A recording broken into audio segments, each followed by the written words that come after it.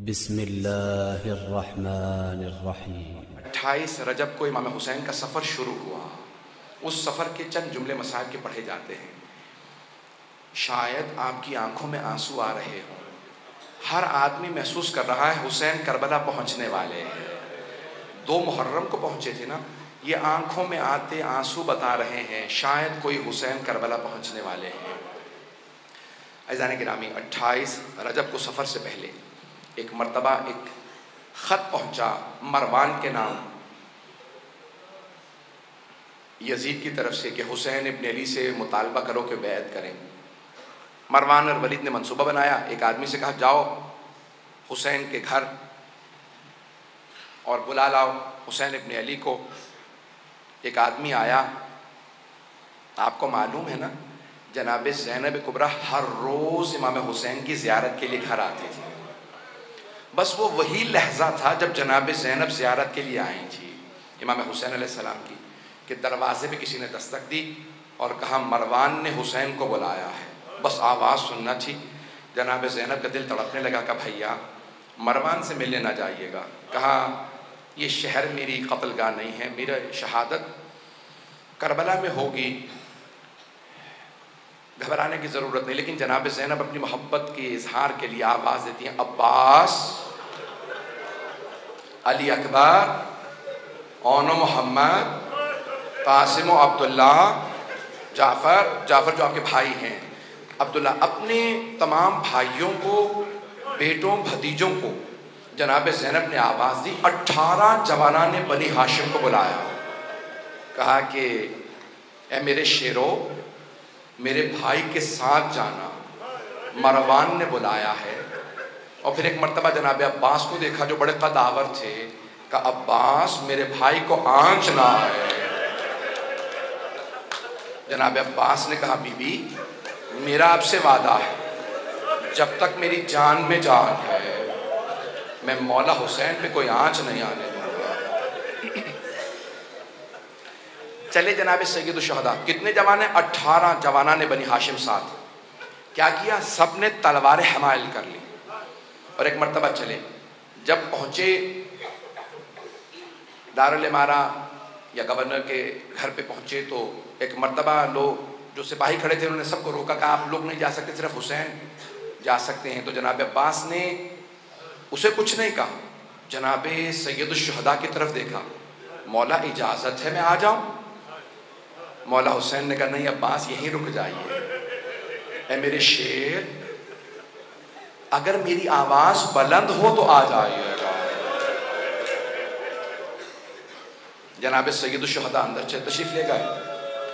मरवान ने कहा कि शाम से बुरी खबर आई है। मुसलमानों के खलीफा मुआविया मर गए हैं और नया खलीफा यजीद है। नए खलीफा ने आपसे बैत का मुतालबा किया, आप बैत कीजिए। सैदुलशहदा ने कहा, मैं बैत नहीं करूँगा। तो कहा कि आपको बैत करना होगी। मौला ने कहा, अगर ये कोई अच्छी बात है तो तू दरवाजे बंद करके क्यों पूछ रहा है? कल मस्जिद नबवी में सारे मजमे के सामने सवाल करना मैं वहीं जवाब दूँगा। एक मरतबा वलीद ने हाथ से इशारा किया कि यहीं गर्दन उतार लो हुसैन अकेले। एक मरतबा सैद शहदा को जलाल आया का यबन सरका और नीलगो नैन रखने वाली औरत के बेटे, उसकी माँ बकारा थी माम ने उसकी माँ का नाम लेके कहा अंथा तक तो नहीं हम हुआ तू मेरा कत्ल करेगा या ये मेरा कत्ल करेगा? जब बुलंद आवाज़ से बोले ना, जनाब अब्बास के कानों में आवाज़ आई कि मौला जलाल में दरवाजे को धकेला, देखा दरवाज़ा बंद। आप जानते हैं ना, गवर्नरों के हाउस के बड़े बड़े दरवाजे होते हैं। दरवाज़ा बड़ा था, बंद था। जनाब अब्बास ने कहा, अली अकबर, जरा पीछे हटना अपना बाजू दरवाजे पे मारा। दरवाज़ा गिरा दिया। दरवाज़ा गिरा के फ़ौरन तेज़ी से अंदर बढ़े। तलवार की जिप का मौला, क्या हुक्म है? किसका सर कलम कर दूँ?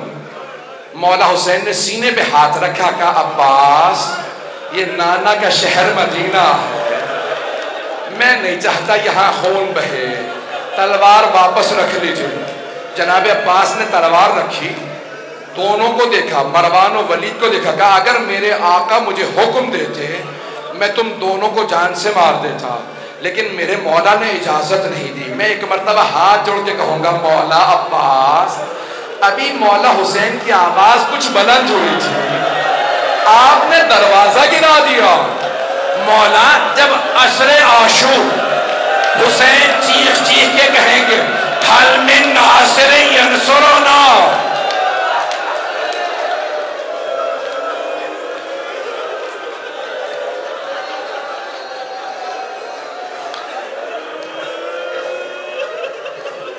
जब असर में आवाज़ बुलंद होगी, ए गाजी अब्बास, उस वक्त क्या कीजिएगा?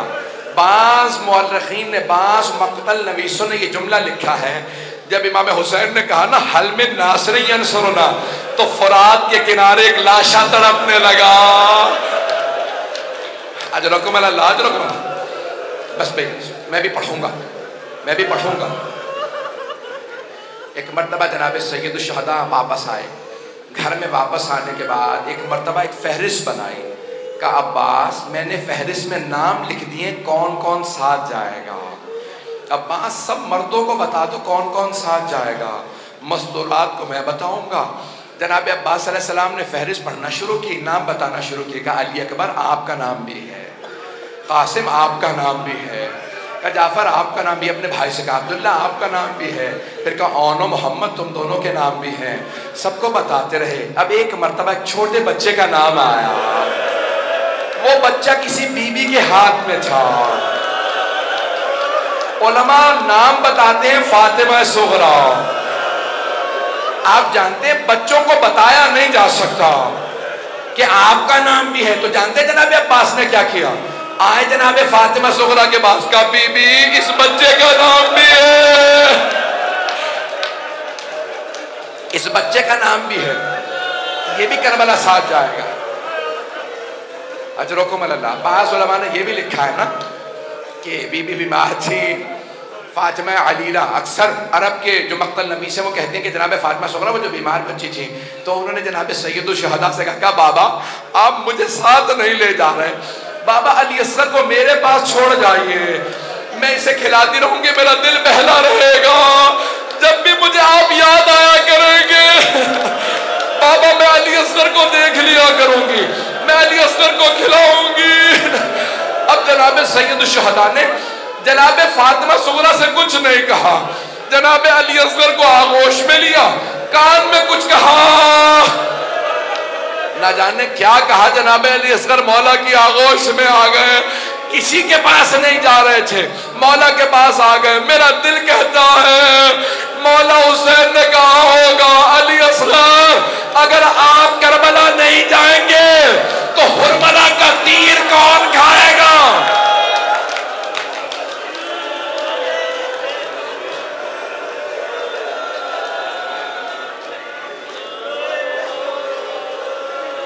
बस भाई, कोई रोने में बखल ना करे। पहली शब है ना, जनाब सैदा को पुरसा दीजिएगा बीबी, आपकी बेटियों का, आपकी आल का, इस तरह से शहीद होना, ऐसे असीर होना, हम आपको पुरसा देने आए हैं। हर आदमी नीयत करके आए, मैं बीबी को पुरसा देने जा रहा अजरकुमर अल्लाह। बस भाई, मौला हुसैन ने फहरिस्त दी और ख़ुद चले गए अपने नाना से विदा करने के लिए।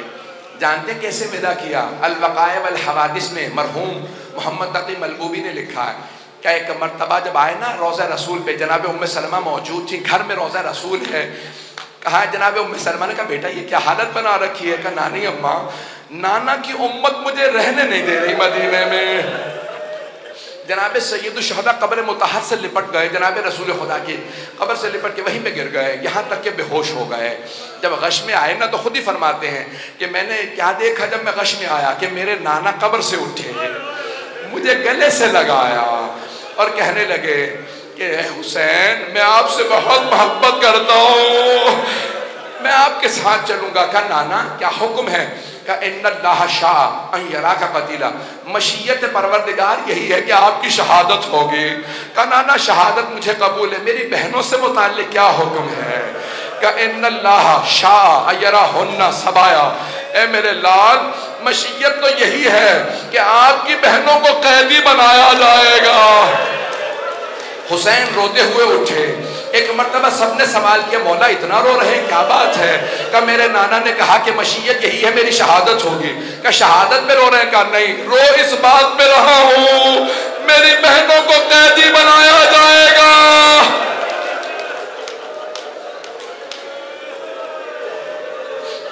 बहनों को कैदी बनाया जाएगा।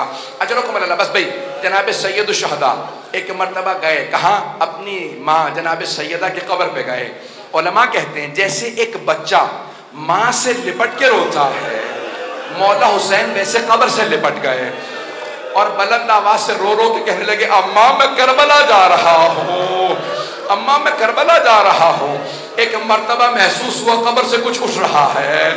एक बीबी उठी होगी सीने से लगा के कहा होगा, मेरे लाल, आप तनहा नहीं जाएँगे, मैं साथ जाऊँगी। मैं शबे आशूर अपने बालों से आपके मक्तल को साफ़ करूँगी। मेरे लाल जब आप जुलझना से ज़मीन पे आएँगे, मैं बुरके का दामन फैलाऊँगी। मैं आपके सर को अपने बुरके के दामन में लूँगी। मेरे लाल, मैं करबला साथ जाऊँगी। उठे जनाब सैद शाह। बस भाई दो से चार मिनट, पाँच मिनट की सहमत और दूँगा। उठे जनाब सैद शहदा, एक मरतबा घर आए। एक मरतबा घर आए और कहा कि सब तैयार हो जाए। अट्ठाईस रजब है। जनाब सैद शहदा ने मसरत बिछाई। जनाब अब्बास से कहा कि पानी मशकीज़ों में भर लो। कहा कि मौला, मैंने इतना पानी भरा है कि पानी ख़त्म नहीं होगा। ना जाने किसके काफिले को पिलाना पड़ जाए। किस और के काफिले को? बस भाई, तमाम किया तो जुमले सुन लीजिए। एक मरतबा सैद शहदा ने मसनत बिछाई, बैठ गए का अब्बास। अम्मारियाँ सजा दी जाएँ कजावे हों। और एक मरतबा अच्छे अच्छे कपड़ों के अंदर, मुझे नहीं मालूम, मखमल छा, मुख्तलिफ़ कहते हैं, बड़े ही सजाए हुए अम्मारियों को जनाब अब्बास लेके आए। क्यों? अली की बेटियाँ जा रहे हैं। अमारियाँ सजाई हुई हैं का अमारियाँ लेके आते रहना। बीबियों को एक एक मरतबा सबको सवार करा दिया जाए। मैंने सारे मसायब छोड़ दिए। एक मरतबा सैद शहदा मसनत बिछाए बैठे हैं। आवाज़ दी। एक कनीस से कहा कि सबको बीबियों को बुलाते रहना। आवाज़ दी। का हसन मुशतबा की बेवा आ रही है। मौला हुसैन ने आवाज़ दी, कासिम, माँ को सवार करा दो। जनाब अब्दुल्ला, जनाब कासिम अब्दुल्ला, एक ने अपना घुटना ज़मीन पे रखा, दूसरे ने अमारी का पर्दा हटाया, बाजू थामा माँ को सवार करा दिया, सारे मैंने मसाज छोड़ दिए। सुने के जुमला? एक मरतबा किसी ने कहा, लैला आ रही है। मौला हुसैन ने कहा, अली अकबर, माँ को सवार करा दो। जनाब अली अकबर ने माँ का बाजू थामा न जाने माँ के कलेजे पे क्या बेच रही होगी। अम्मारी का पर्दा हटाया, माँ को अम्मारी पे सवार करा दिया। इतने में आवाज़ आई, अली की बेटी। उम्मे कुलसूम आ रही है। मौला हुसैन ने आवाज़ दी, अब्बास, बहन को सवार कराओ। अली अकबर, अम्मारी का पर्दा हटाओ। कासिम, घुटना ज़मीन पे रखो। ओनो मोहम्मद, सबसे कहो, साया कर दे। जनाब उम्मे कुलसूम आई इतने में आवाज़ आई, अली की बेटी, जैनब कुबरा। तशरीफ़ ला रही है। रावी अब्दुल्ला इब्न सना ने कहते मैंने अपनी आँखों से देखा। हुसैन मसनद से खड़े हो गए। सारे जवानों ने साया बना। जैसे ही जनाबे जैनब आई जनाबे अब्बास ने कहा, बीबी, मैं आपको सवार करा दूँ। जैसे ही बाजू थामा का अब्बास, रुक जाओ। आज मैं भैया आपसे सवार नहीं होना चाहती। जनाबे अली अकबर ने कहा फुप्पी अम्मा, मैं सवार करा दूँगा नहीं, अली अकबर। एक मरतबा और मोहम्मद आगे बढ़े। कहा, अम्मा, हम हाजिर करें, रुक जाओ। अब जनाब सैयद शहदा ने खुद कहा का बहन, मैं आपको सवार करा दू? बीबी ने कहा, भैया, मुझे माफ़ कर दीजिए, लेकिन आज मैं हुसैन आपसे भी सवार नहीं होगी। का बहन, फिर कौन सवार कराए आपको हमारी पे? का भैया, जो मुझे ग्यारह मुहर्रम को